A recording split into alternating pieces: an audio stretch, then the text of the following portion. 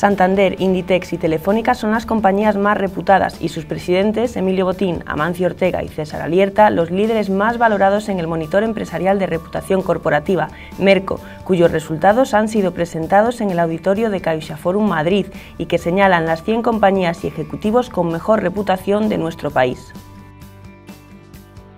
Eh,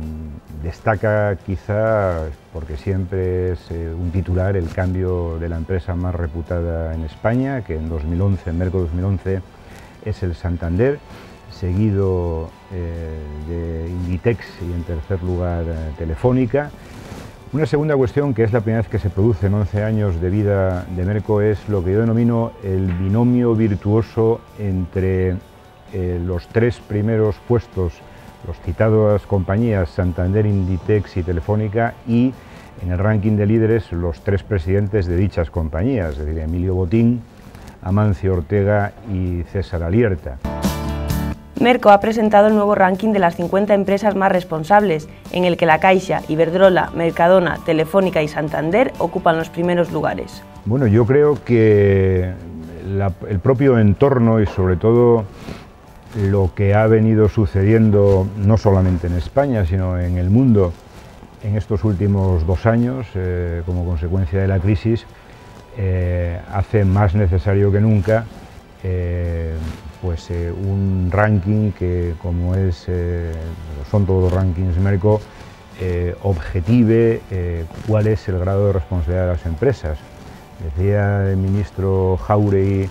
en la clausura de la presentación que las grandes compañías son en este momento, deben ser corresponsables eh, con, todo lo que afecta a la sociedad y yo creo que, que esto viene a expresar en este caso una sintonía con esa afirmación. La presentación ha contado con la participación del presidente de DIRCOM, José Manuel Velasco, el presidente de Vocento, Diego del Alcázar, el director del ABC y el responsable de responsabilidad corporativa de la Caixa. Y desde dentro quiero subrayar la, transparencia y el rigor del proceso de, análisis que, como imagino que explicará justo, es auditado por, KPMG. Bueno, creo sinceramente, en consecuencia, que el MERCO es una buena referencia para reorientar las estrategias de comunicación, para, para evaluar la eficacia de las estrategias de comunicación y para poner en valor los atributos reputacionales de una compañía que configuran en buena medida eh, los activos eh, intangibles de una organización. Como la presentación de un, monitor de reputación de las empresas españolas, que realmente es el, que se ha ido convirtiendo en una referencia para, todo, para todos los estudiosos y todo, todos los interesados en conocer cómo evolucionan estas variables intangibles, pero cada vez de mayor valor económico y moral para las empresas. Dentro del escrutinio que puede suponer el análisis detallado de, todos aquellos atributos positivos de una marca por parte del monitor Merco, que es el más reputado a sí mismo en todo el mundo después de 11 años de actividad, pues no cabe duda que estar en esa lista y estar entre los primeros, por supuesto, pero estar en general en esa lista es en sí mismo eh, motivo de felicitación y de orgullo de pertenencia para todas aquellas personas que pertenecen a una compañía que está en este, en este monitor. El ministro de la Presidencia, Ramón Jauregui, clausuró la presentación de Merco. Vamos a escuchar Merco, el Merco de Justo Villafañez,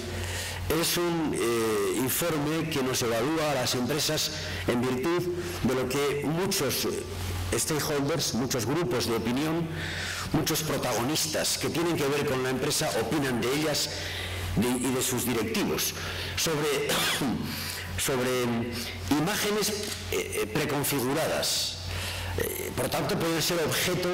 obviamente, de una publicidad previa, de un marketing inteligente, pero que también responden en general a percepciones que se ajustan a realidades. Yo por eso creo que eh, una cosa hecha, un trabajo hecho con tanta eh, participación de protagonistas tan diversos, consumidores, sindicatos, analistas financieros, medios de comunicación, directivos,